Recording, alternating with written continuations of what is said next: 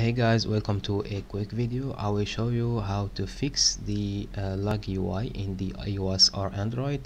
I made an example. This is my game i'm working on. If uh, i open a window it animated like an animated window it looks fine in the editor or in the pc but when i try it in the android or the ios it's not smooth. Like the animation is not smooth. Same thing for any ui animation so to fix it is very simple. First let's just create a C sharp script.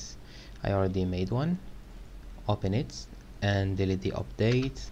And in the awake function okay you could do it on the start but I recommend you to do it on the awake function.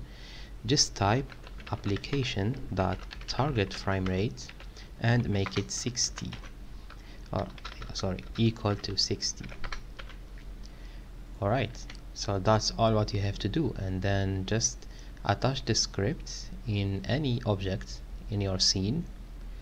Let's just attach it in the camera wait it to compile for like two hours. Okay it's attached to anything.